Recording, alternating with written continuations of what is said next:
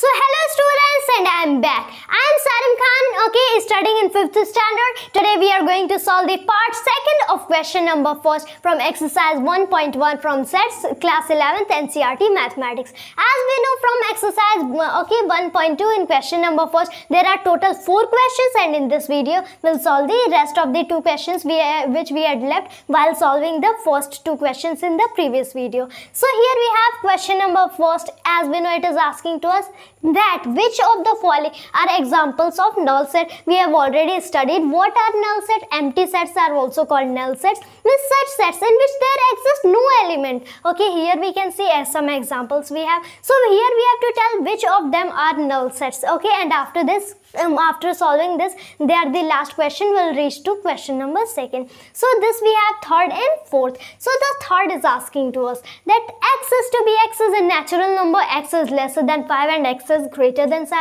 so now our solution starts.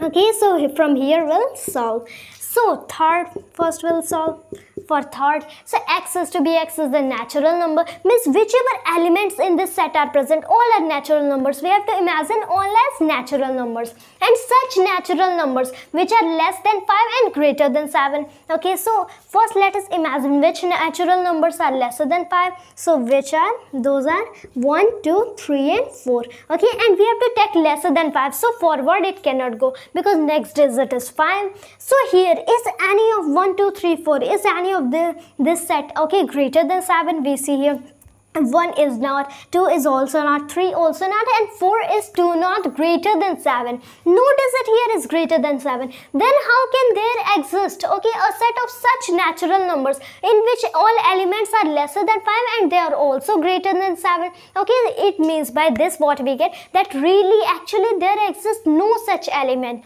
okay in which they are natural number and x is lesser than 5 and greater than 7 it means that in this set no element exists and if it is such it means it is a null set okay? So by this we get that third is actually example of null set okay? So by this we get third is a null set. Now let us move to fourth. So fourth we have now here we have fourth. Y is to be Y is a point common to any two parallel lines. We have to imagine about any two parallel lines. Later we have to find that which uh, information has been given by this set. Okay, about Y is to be Y means about any element of this set. Okay, we have to check that whether Y is a point common for any two parallel lines. Let us begin. First let us draw any two lines let parallel AB CD. We have named them AB and CD. So here we have, here is there any point common to AB and CD? We can see um, as they are parallel, so no point is common. If we extend AB and CD little, so here it will extend little its length will increase but even now we don't have to change their position okay but they will also now also they will remain parallel so here such it will happen. Even now is there any point common to AB and CD? No. And as much we extend any two parallel lines, there will be no any point common. Then how there can exist such an element in such a set where the set is saying in, uh, in our set builder form that its elements are the points common for any two parallel lines. How can it exist? So by this what we get that really actually there exists no element okay no element for such a set where its elements are those points which are common for any two parallel lines. It means it uh, there okay for this set there are no elements. So by this what we get? This is also a null set.